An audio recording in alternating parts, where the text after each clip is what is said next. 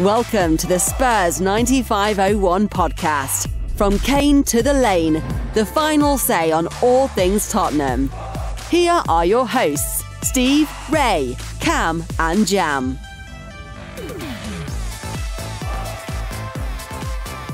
to the Spurs 9501 podcast. Uh, after we're doing a post-match review after the Chelsea defeat. This is Ray in London. I've got Cam in Florida, Jam in Connecticut, and welcome back to Steve in London. Welcome back, Hello, Steve. everybody. Good to see you again.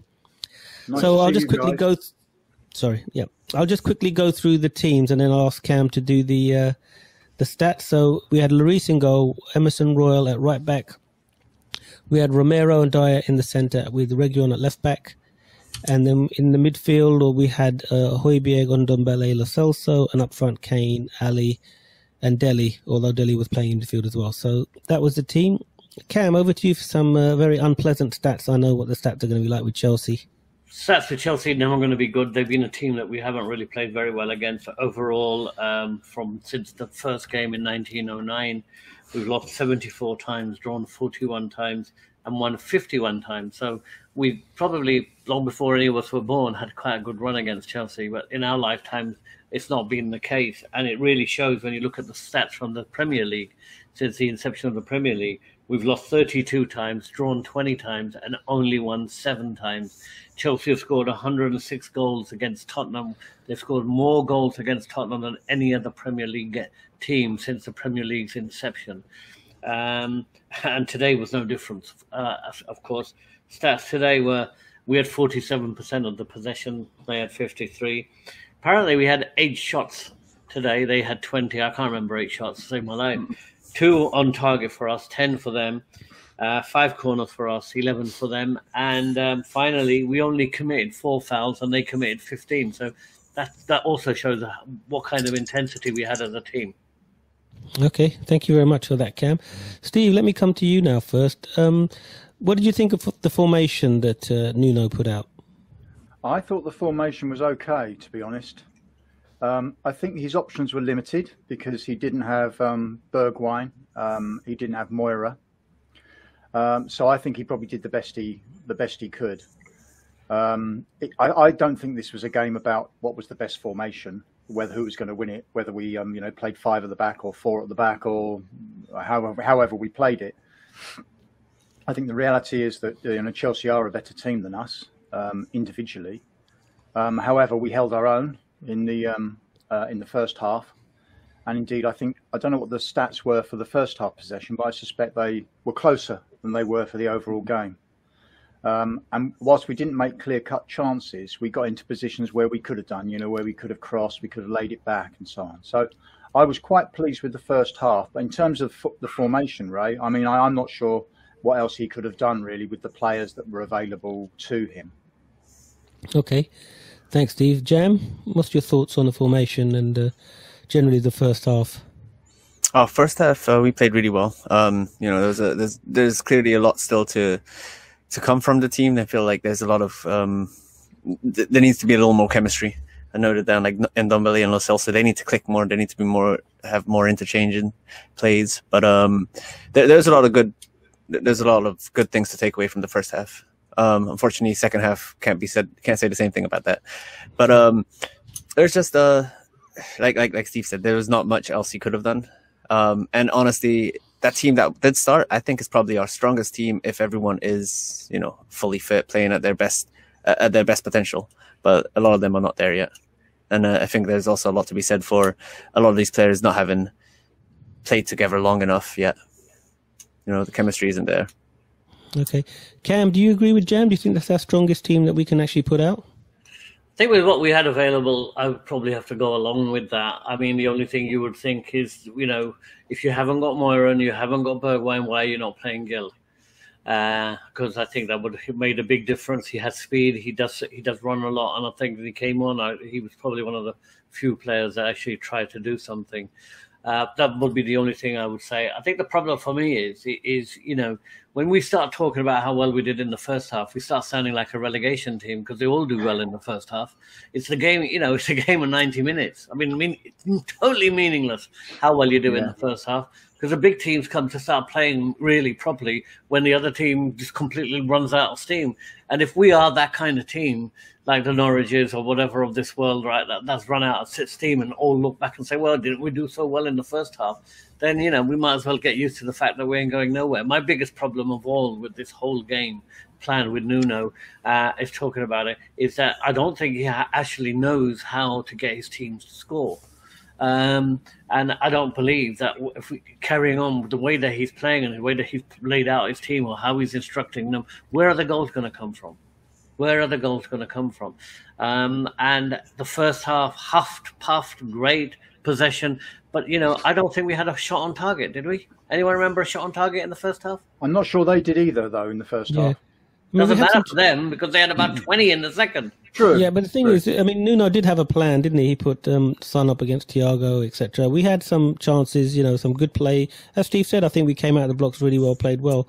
And um, but I just can't. Steve, do you know why Harry Kane is always taking all the free kicks? I mean, that looked like a Lo Celso better scenario for me in the top left. Oh, I don't know who the hell you give the free kicks to. We used to give them to Christian Eriksen, and he never got scored either, really, did he? Mm. Um, you know, you might as well give it to Dier.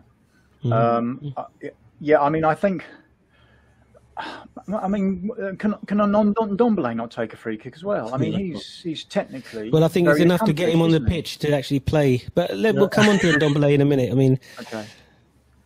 I mean, well, we huffed and puffed in the first half, and we pressed them, and we did well, and we looked reasonable amount, but we weren't able to score, were we, Jam? So, who does the lay, who do we lay the blame on for that? Son and Kane, they're our goal scorers. If they don't score, I don't see where the where the goals are coming from. I mean, absolutely in all the other matches throughout the season, I would say they are our goal scorers. They should be scoring, but we can't just rely on both of them all the time. There's a lot of other players on the pitch who need to be doing more uh, going forward, and and just like, Steve said, there's opportunities to cross the ball, cut it back, do something where we just we, we flipped around and passed the ball back and went back and sideways, and then ended up just going back into the defense and, and trying to find a space. Um, hmm. You know, it didn't it didn't click today. And on top of that, I mean, we're playing Chelsea are probably the best put together team in the league. You know, in every position, they've got excellent, excellent players, and they they proved that with their substitutions today. I mean, that's the, the game changed in the second half. It was not the same game, and our players could not find a way through.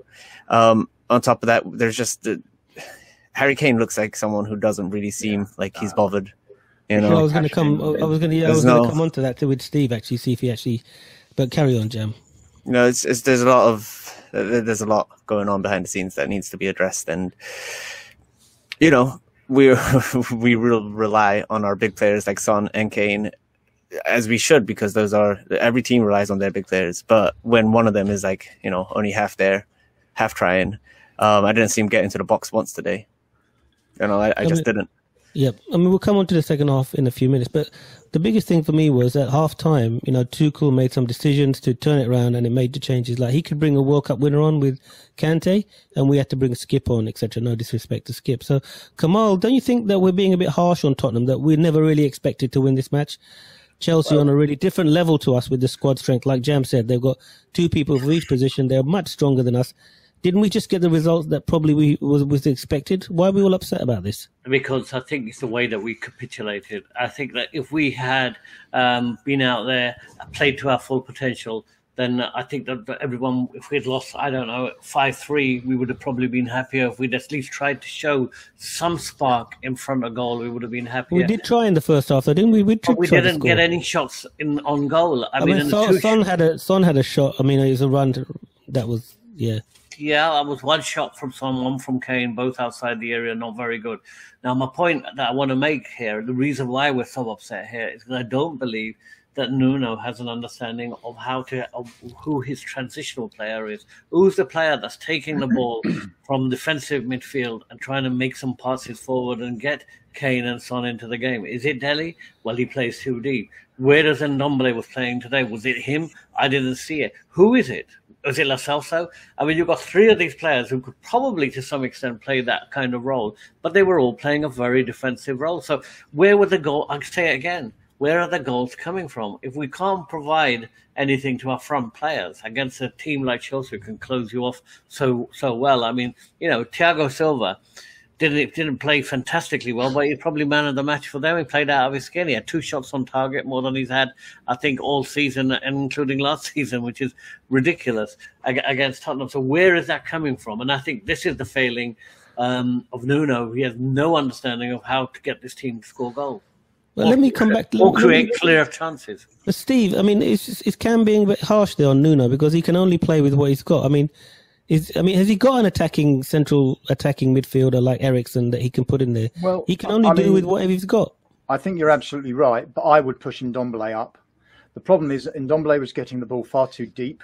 He's getting in the centre of midfield. If if he gets to you know within striking distance of the 18 yard box, that's where you want him. Because he's got the skills, he's got the tricks. If he loses the ball there, it's not as important if he loses it in the last third of our own our own um, half so I think he should be pushing pushing up further, making those runs into the box, making things happen. Cam says, or we all say, you know, Son and Kane should be scoring. They should be, but we have to give them some chances, and we didn't really give them any chances. That's the mm. issue. And they're not players. Maybe Son, but Kane doesn't make chances by hustling and bustling. He doesn't do what Zaha and Ayew, I think it is, did against us in the last game um, playing for Crystal Palace, where they run us ragged by their sheer energy and their persistence and their niggardliness. We we we gave far too much respect to Chelsea. When you, I think, tactics can only take you so far. We we need players who are going to compete on a one to one level with each with the other team, and we didn't do that. We weren't competing. I remember when Chelsea were utter rubbish and they'd come to what they tended to call three point lane. They'd come to White Hart Lane, and Dennis Wise would get in your face and he would um, annoy you no end, and you'd get frustrated and you'd go off that pitch exhausted, bruised from head to toe. I'm not saying that's exactly how we should play, but I want I wanted those Chelsea players to go off. They may have won 3 0, knowing they'd been in a fight, that they'd had a real tough game, and they're not going to do that, are they? They're going to stroll in there get their ear ear pads on, listen to their music, and have a jolly nice evening. Whereas we're going to be crying into our beer or whatever. And and that that's the long and the short of it. I think is that we've got to compete on an individual level when the tactics aren't right and when you're not as good a team as the other one. You can compete even if you're not as good as you didn't do that. Jam, um, let's start with the goals then. So the first goal you know, from the header, from the corner. I mean, lots of people saying Dele Alli should have been marking Thiago. What's your take on, on the first goal? I mean, marking him would have been. Uh, I definitely noticed after that goal happened, he was on him really tightly every corner. He didn't but, jump. Um, no, he didn't jump, but he did. wasn't. He was he was holding the center, you know, the the penalty spot and waiting for someone to come in. And you know, Thiago did an excellent run. I mean, it was a bigger, maybe stronger you know player than Dele Alli might have been able to stand up and, and jump up and hit and get a header on that. But you know that's what happens when when he's he's your man in the middle and he just came across Thiago. I think it was unlucky. I think it was unlucky. You know he he could have done better, but these things happen. I think from on uh, onwards we could have played a lot better and picked it up a lot mm-hmm. more. And finally, once we did start to get some energy in the game and, and start to build up, you know, they scored that crazy. I wouldn't say crazy. It was it was poor defending. It was poor defending. Højbjerg, Lo Celso, both of them could have closed down Kante for that second goal. Yep. Cam, I mean, was that just bad luck the first goal, or was Dele, uh, you know, culpable there for not jumping, at least putting a challenge in? Thiago basically had a free header, didn't he? Yeah. Well, let's let's let's go let's go back a little bit on this. The first thing is, is anybody here actually believed we could have ever scored from a corner? Uh, no. So actually, when so when they get when we get a corner, we're worried they're going to break out and probably score against us. Uh, they, they, the fact that they could score from a corner so easily from the penalty spot by ghosting in like he did, with everyone just stood stationary like chess pieces, waiting for someone to tell them to move, um, was just uh, probably high school marking, I would say, high school defense. I mean, you know, the basic coaching will teach you. You watch for the player, the runner. You know, you have your, your strongest player on him. There was Dier was there, Dele was there. Dele didn't jump. I actually got in Dier's way, to be honest with you, but nobody was tracking that run. And you know, it's the first thing that you do when when you're defending at this level. And my concern, seriously, is is that if um, we're going to hang a hat on being a very defensive team which in all the time I've been watching Tottenham never ever have been, um, then the, you, make basic errors like that. The, the, that. Even that that whole strategy goes out the window, doesn't it? I mean, because it was a basic error. I'm sorry, I don't care what anyone says. It was a very very basic error to to to concede a goal like that. I Um, mean, Nuno in his in a post match was really upset about the defending from the corners, saying it's a big mistake. So obviously he's not happy about that as well. not much good to us, is it? Because No. he's hung his hat on defence because he doesn't know how to get his team to score. Uh, Steve, the second goal, Lo Celso mistake. Remember we said we all say that it always starts from a mistake. The second goal. The first mistake was Lo Celso, and then the second was Højbjerg didn't close him down. What's your take on the second one? Well, you've, you've, you've summed it up, haven't you? Lo Celso had the opportunity to clear. He's trying to either dribble or clear or um, make a little neat little pass on the um, uh, just outside the 18 yard box. When I'm afraid it's uh, you just get the ball away in that situation. That's what you have to do. And yes, we didn't close the player down. People are shrieking that we should. I think it took a terrible deflection Yep, yep. uh, and went in, and may not have gone in if the deflection um, hadn't taken place. But it, it, it ends up being a percentage game, doesn't it? If you shoot enough, you're going to get a Yeah. deflection. It's a bit like But the first Steve, goal they got as you- well. Yeah, Steve, can I just ask you a quick question? Sorry, just so in that type of situation, if somebody's shooting, the defender's in line. Should the defender try and block it, or should he just put, jump over it, or the goal? No, to they've the got they've take? got they've got to try and block it because Okay, nine times okay. out of ten, it won't be deflected into goal. It'll be deflected somewhere else. No, as a defender, you've got to do it. I think what you, if you're uncertain or not determined, that's when you get that slight deflection that takes it into the goal. If you are Okay. hurling yourself Yeah. at it, so towards the end of the game, actually, Skipp made a very good blocking tackle on Lukaku in the penalty area because he was utterly committed. You know, I, I, whatever you say about Skipp, he was um, he is completely committed and he's he's trying all the time. So he blocked that, and it went off. I think for for a throw in or a corner. Whereas if you go in a bit half-heartedly, and we've got quite a few players who do that, not that Højbjerg normally does that, then I think you're more likely to get a little nick, a little deflection that could take it into the goal. It's where there's that, you know, that uncertainty. And just just coming back about the percentages and seeing the first goal, I think that was something like the third corner they'd had in two or three minutes. And I think at some stage, uh, if you take corner after corner, there's one that you're not going to be able to defend. It will just be that is just going to be the case. You're expecting every all the team to be fully concentrating and prepared, and we know that the best players in the world lose a bit of concentration. Um, and I think that's sort of what happened for the first goal. The second goal, the Celso should have cleared it. The third goal, I think I'd, I'd, I'd lost interest by then, to be honest. Yeah, I mean, Yeah, Cam, it's off by then. Yeah. I mean, the third goal. Talk up through the third goal. I mean, it's just like they had so many chances before. It's like a training match. They're just shooting at will. I mean, If that what happened- anybody saw uh, Werner with that much space on that far side, it was unbelievable. It was like the players were all st- st- staring at each other. I mean, he, he couldn't believe how much time he had. He didn't know what to do, whether to shoot, go further into the box. In the end, he passed it right to the penalty spot. And again, and again, it was just passing by chess pieces. They were all stationary and they stood there. And Rudiger, a defender, put it in the corner. This is the guy we tried to sign earlier in the season, I believe. There's no way he's ever coming to Tottenham now.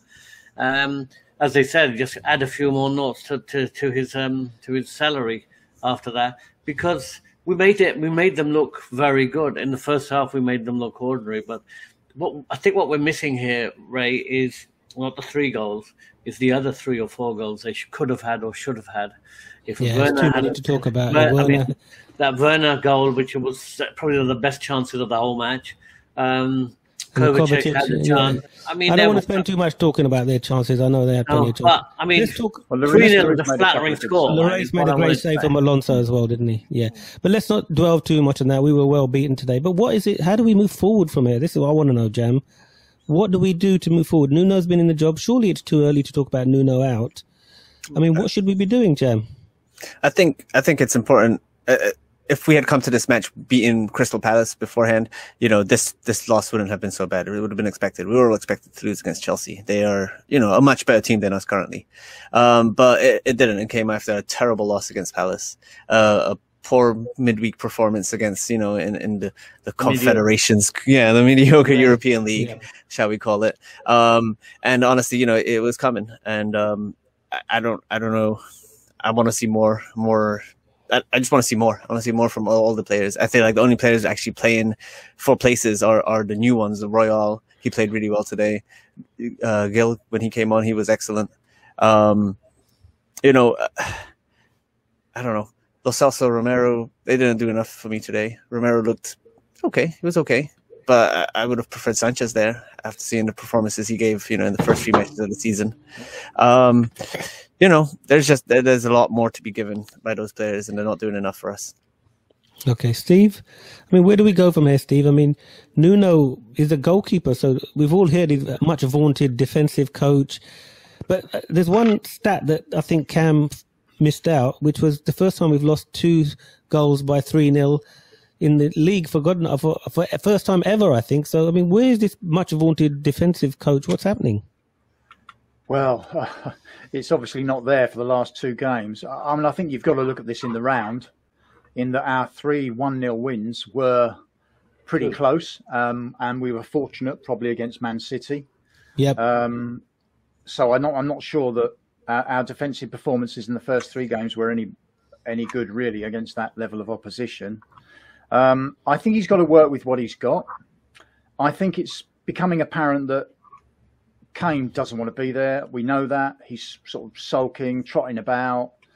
Uh, he's not doing what we want. I've got a terrible feeling that we, when we sell him in January, that we've probably lost 30 million on his value. Um, had we sold him in the summer. Um, but everybody moment, said he's a consummate professional. He's going to keep playing and scoring, and he loves Tottenham.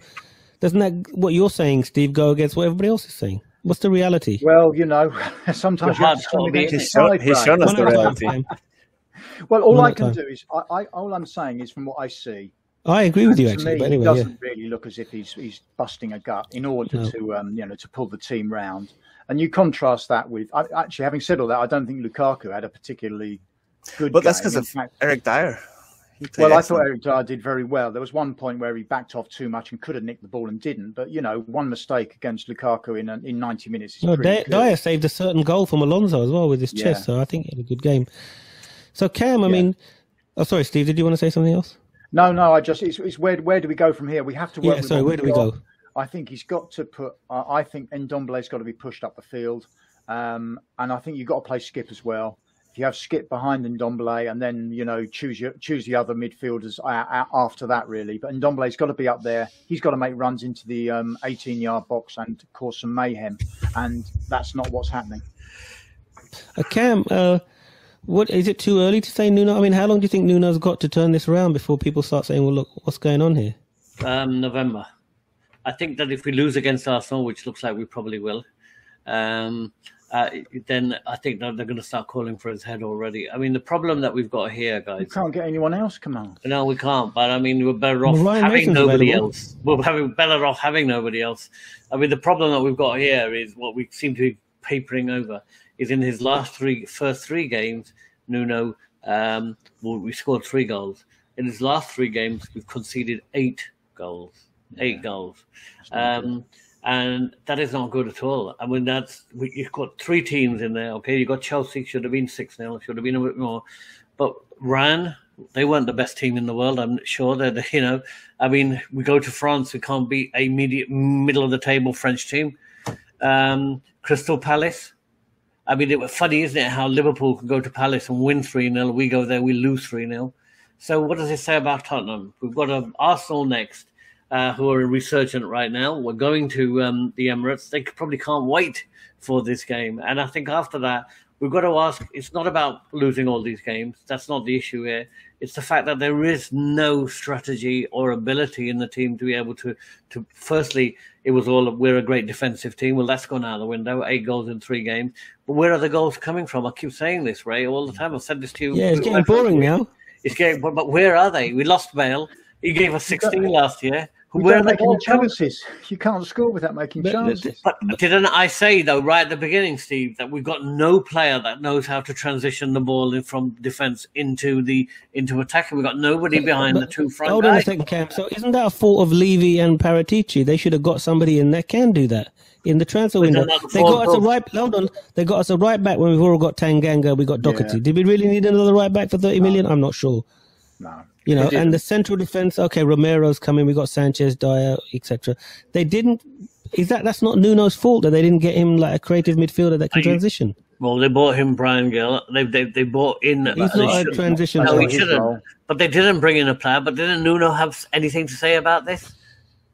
I mean, Obviously fact- not. Obviously not. Nuno is not. He's just a coach. He's a head coach at Tottenham. He's not Right. doing anything else.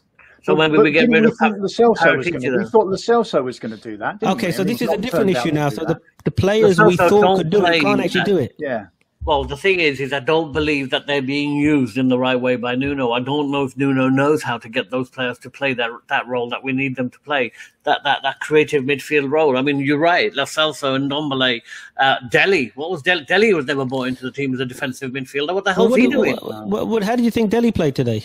Awful. Where was he playing? What was he playing? I don't know. I mean, that's my question to you. What what role was he actually playing? Was he in a defensive midfield role I or was he in was- attacking he- mid? I have no was in- idea. Yeah, He was no, meant it- to be in the bottom of the diamond or something. It's Well, we clearly, don't know. been, or he's been told to, to play that way, though. You know, obviously he's not pushing forward. I didn't see him move into the final third at all. Mm-hmm. There's, like I said, there's a reason. Nuno's Nuno's making this happen. There's no, there's no Nuno's midfield. fault. The game, the game plan is defend, kick the ball up to the strikers if you can, counter attack. You But know, and, and I don't think that's going to work. With, with But Kane Jam, the when he got appointed, we knew what type of coach he was at Wolves. Why are we all, all of a sudden surprised that we don't make any chances and we're not scoring goals? Can somebody We tell never me were. that? I never wanted him in the first place. Let me Yeah, know but you that. got I'm not sure. I'm not sure we're surprised. I think we hoped that it wouldn't be that way. Yep, Hmm. yep, that's it. But guys, how are we going to move forward from here? You know, we got Arsenal next week, probably going to lose that. They'll be on the same points as us. Steve, Yeah. let me come to you. Realistically, what are we looking at this this season? Now, we might all say Nuno out, Nuno out, but that's not actually going to help us because nobody's going to join. Ryan Mason will probably take over, and he'll be just playing his mates like he did last time. Well, I mean, what, what happens is people think by changing the manager, somehow players who are completely mediocre suddenly become good players, and they don't. You, know, you can only tinker with the general so much. If the arm is no good, the arm is no good. He's only Um, been there for five ma- matches, for God's sake. You know, No, you've got to give him some I think time. you've got to you've got to give him some time. I I actually thought in the first half, we that was the way we should be playing. We were we were press, we were pressing them. They were uncomfortable on the ball. Okay, we may not have made a load of chances, but at least they knew they were in a game. And that's So why did got it change in the second half then, Steve? What happened in the second half I to change ran. I think we ran out of puff. I think we did Okay, run so out it's a fitness issue then. Well, Well, maybe, I don't know. but also it's about how you use your subs, isn't it? You've got to know when to bring on people like Skipp, who are going to be really hardworking. And I think without Bergwijn and Moura, who, whatever you think of Bergwijn, I'm Moura, I've got loads of time for forever for obvious reasons, but they are tireless players and they really do put in a stint and they will press, they will press and they will make players, other the other team uncomfortable. Um, and we didn't have that. You know, we had Alli who doesn't really do that, and Dombele who doesn't really do that. Well, what does Alli You do? I mean, it's a good question by Cam. What was he actually doing today? What's his role? Well, And that's I gotta be he's down to trying, Nuno, he's hasn't it? trying to get him to be a creative player, isn't he? But he he dwells too much on the ball and he can't pass it. Whereas Ndombele could. So why I couldn't understand why Ndombele got taken off and Alli didn't. Because he played on Thursday, was tired.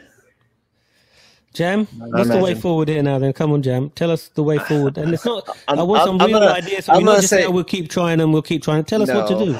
I mean, honestly, I think I think I want to see a match where Dele Alli doesn't start, and never does Harry Kane. I think that I mean we're not in that situation anymore because we lost Bergwijn and we lost. But we haven't got another striker.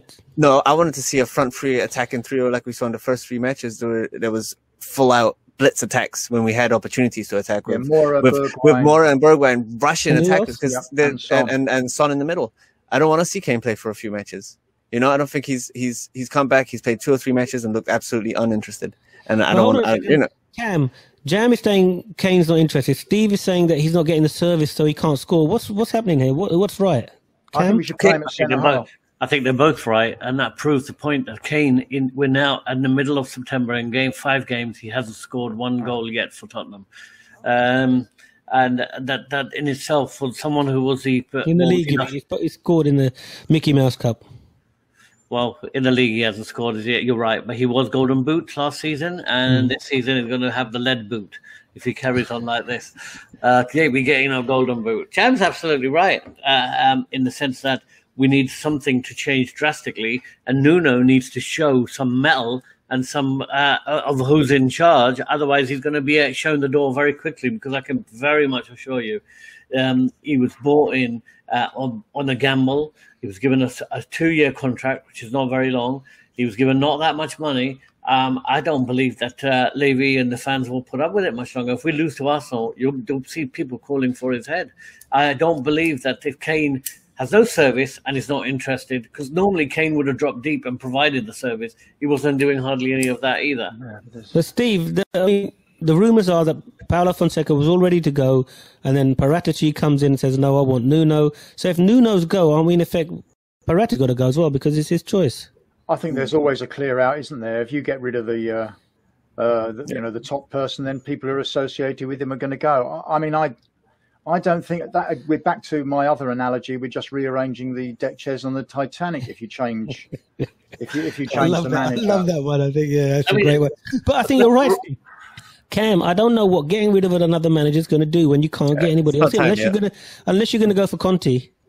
No, what, you know what's happening here is um, the beauty of this is is with game five, our season's already over.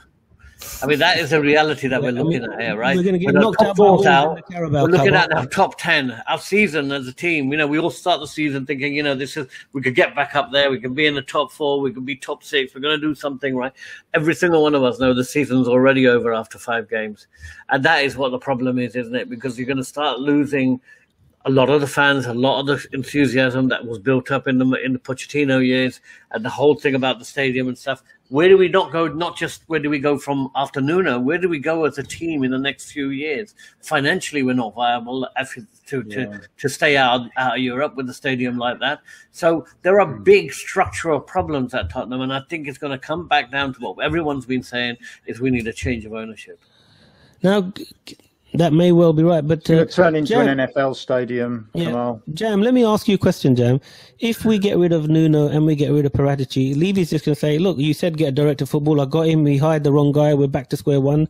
I'm going to take over again." Isn't that what's going to happen? I mean, it, it's like, but I just said the, it comes down to the same problem that's been, you know, with this club for the last at least six years. You know, that we had some good seasons, but uh, it, it's it's it's the ENIC man. It's a Levy out brigade, and it, and it has been for a long, long time. It's been even since Pochettino was around. It was a Levy out brigade, and and it's it's clear. I mean, this whole stance of Harry Kane, and I, I keep coming back to him because I mean, you know, he is our star player. He's the player we rely on. You look at Man United, they got three or four star players they rely on. Look at Chelsea, they got five, six star players they rely on. You know, Man City, their whole team is, is full of stars. We have Harry Kane and Heung-Min Son. And Son plays consistently, tries his best every time. You see a smile on his face and he's trying to play football, even if he doesn't play well. Yeah. Harry Kane has not been there. He has not been there on on the pitch. He's he's he- I don't know. It's been really me- sad to see. Let me try and stick And up for Daniel Why didn't don't- wait, no no? Why didn't we sell him for a hundred th- a hundred Well, million, let one me- hundred let me twenty just come million? to- I would have happily that point. taken three really good players in his place. Jam, let me come to that point. Let me try. I'm not sticking for Daniel Levy's point of view. If he'd have got the money that he wanted, whether that's 130, 150, he would have sold Kane. That's what he said. So give me what I think he's worth, and I'll sell him. He didn't get it, so he's still here. He appointed Paratici. Paratici appointed Nuno, and it's just like, you know, how can you blame that all on Daniel Levy? But uh, like you said, it's been five matches. You can't really blame this on Paratici and or, or Nuno. No, It's but I'm been, saying it has not does been the- long enough. Kam Because is saying if he loses against Arsenal, he's probably going to go. because there's structural. I don't think it's gonna go, though. I don't believe that. club. I mean, the problem that you're not looking at is the structural problems that the This club. is- there isn't This is enough still a money. transitional season. no Hold on, one at a time, guys. Right. This is a transitional season. I'm just saying, like at the beginning of the season, at most, if we're lucky, we're going to squeeze into the top four. But realistically, we all know top seven is where we're going Top for. ten, I think. you're looking at. Realistically, Top no. Okay, let me yeah. let me get let yeah, me no, talk to no, this is before the season started. Okay, okay. Exactly. Listen, so we, you guys were happy before the season started to finish top ten. You don't think that's still potential?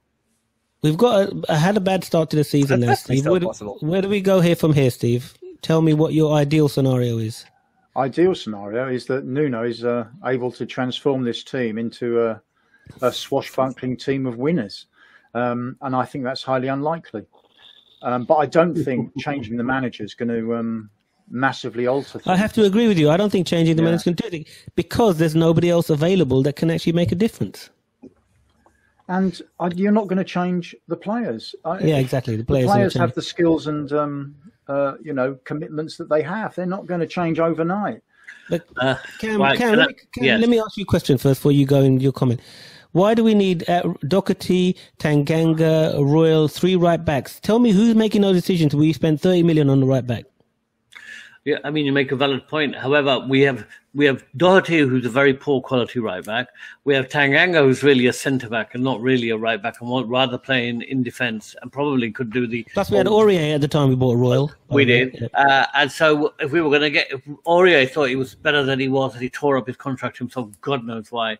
But potentially, can, I'll be totally honest with you, I haven't seen any of those uh, right backs put in the crosses that Aurier used to put in. But having said fair. that, we had three or four people for that position. That was not the area we needed strengthening. So who's making the decisions to buy a right back rather than a created midfielder? Well, uh, I mean, it's a very good question, and I, don't, I think if Nuno's not making those decisions, then Nuno's really uh, um, what what is he doing at the club? The reason why I think that Nuno is involved in it and why these decisions are bad, because looking at his decision when we're three 0 down to take off Romero and put on Sanchez, uh, which bus- baffled every single human I think being. Romero I think, was. I think Romero got Croatia. cramp. Actually, I Yeah. think he got cramp, so he had to go. Three minutes to go. Well, I mean, come on. We have we there- there is some serious problem more than right back at the club. My point that I'm trying to make, Ray, which you won't let me make, is um, we've got the problem here. It's it's a fundamental problem. There's a structural problem. We've got no money. We need a billionaire. We need Steve. We get to 100 million a year from TV money. Not enough. They've uh, they still owe the Bank of England 150 million. Um, we've got a tight-assed owner who won't put any money into the club. Um, and unless, how are we going to compete when Man United, Liverpool, Ch- Chelsea, and and and and the City can pay 100 million without even thinking about it for a player, and we struggle to get anyone at 20, 30 million, um, and uh, um, uh, most players don't want to come to us. I mean, look at all the players that we were associated with, good midfield players, good players that were out there that were ready to come. The one club they didn't want to come to was Tottenham. We bought we bought Bryan Gil, we bought Romero, we bought uh, Emerson Royal. We bought three good players. signings. I think they're good signings. So why But is have they not very- made it? Give them time. Then they've got to make give them time Okay, to make a we'll give them time, but there's still that role about where do the goals come from. None of those players are bringing you the goals. Yeah, well, this is my question. I'm coming to you: is who's to blame for the not making sure that we had a backup striker for Kane? Well, Nuno and Paratici. Okay, Steve, what do you think? I mean, firstly, we haven't got a backup for Kane. Secondly, you know, we haven't got a transition like that. You know, this creative midfielder we all talk about. What realistically can we achieve without those key positions? Well, we're mid-table, aren't we? Um, that's that's the best we can do. Mid-table and a cup run. That's But there's that's nothing we've got- different. that's all If we've we- got to look if- forward to. I'm If we afraid. wanted mid-table and a cup run, why don't we just keep Jose then? Yeah, or Pochettino. Um, yeah, Because no, I, mean, I I would think say if we, if we, we- if we had a choice between any of those three managers now, we'd go for Pochettino, wouldn't we? Let's Yeah. For face real, it. yeah. But even with jo- Jam, let me ask you, Jam. Even with Jose last year, even when we played badly, we still made chances. I think we had chances to score in certain games. We, we, made did more. more. We did have more chances, didn't we? Jo- Jose was definitely not as bad as a manager as we gave him credit to be. Um, there's a lot of issues in that dressing room which have now been resolved. You know, I feel like a lot of those players that have left are the the more the more difficult attitudes. Um, and look at him now at Roma; he's doing perfectly fine. Well, five matches in, he's top of the league. I mean, it's early Six. days, and six whatever. He's won Um, six matches in a row.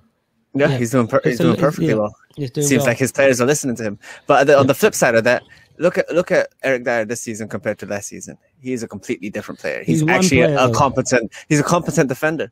You know, our, our backline are a lot more competent in general. And um, I mean that, that's But got to come down to management, areas. right? We, we We've lost it, yeah, but there's there's no midfield. There's no midfield. Our midfield Okay, Okay, guys. Okay, we could talk about this forever. I think We we'll all could, we could. disagree, but let's could. talk about next week now, Steve. I'm going to come to you.